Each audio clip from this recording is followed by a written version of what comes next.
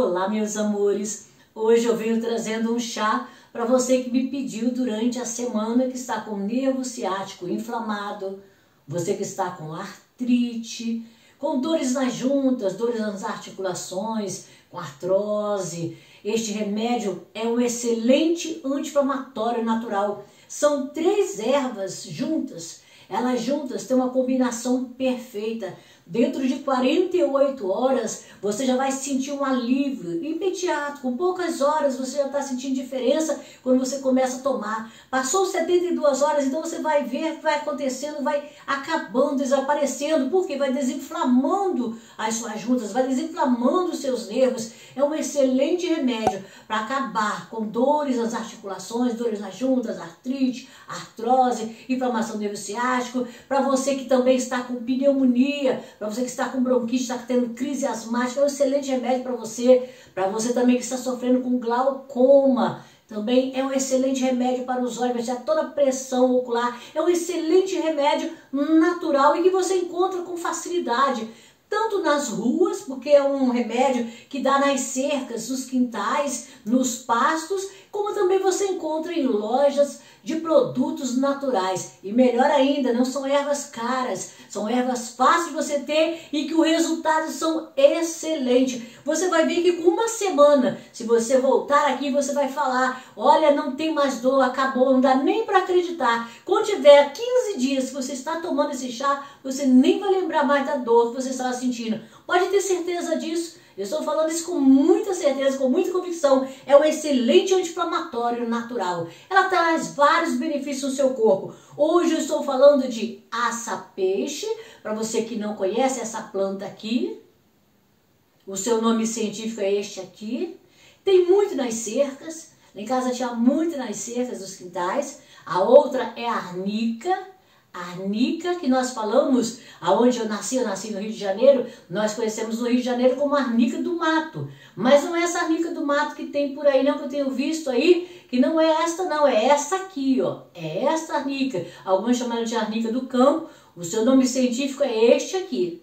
É essa aqui que você vai encontrar em lojas naturais. Tá? Pode ter certeza disso que eu já vendia muitos anos em loja e esta erva aqui. É a arnica que nós temos do Rio de Janeiro, que a gente fala de arnica do mato e dá muito nas cercas. Não é arnica montana. A arnica montana é essa aqui, da flor amarela. Essa não pode tomar.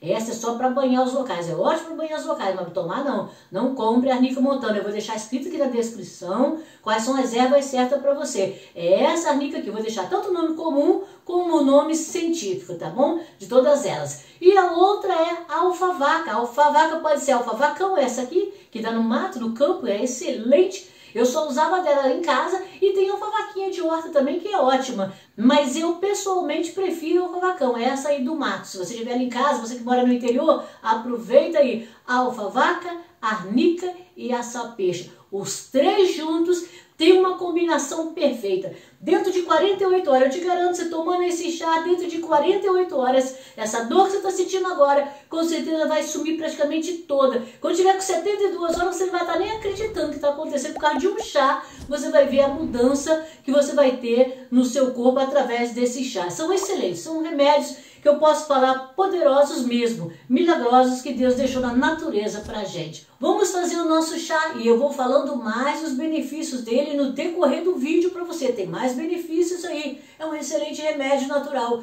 Eu vou colocar agora um litro de água para ferver na minha chaleira. Você pode colocar também na sua chaleira ou no seu fogão. Deixe já ferver. Se você estiver fazendo com as ervas verdes, se você tem aí aça-peixe, se você tem aí a arnica e a alfa-vaca, o alfa-vacão, o alfa-vaquinha, você faz assim. Você pega a pontinha de um galho com as 8, 10 folhinhas cada um e coloca para ferver junto.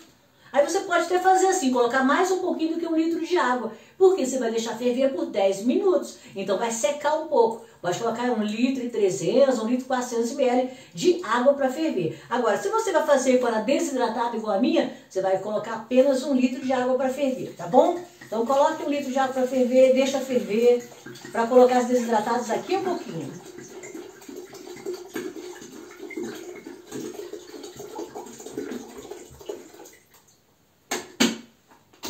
Deixa Daqui a pouquinho eu volto com você.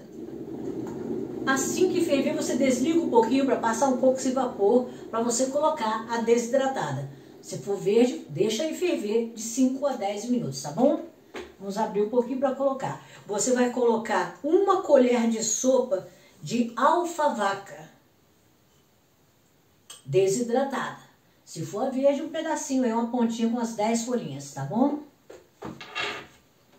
A arnica, você vai colocar duas colheres de sopa.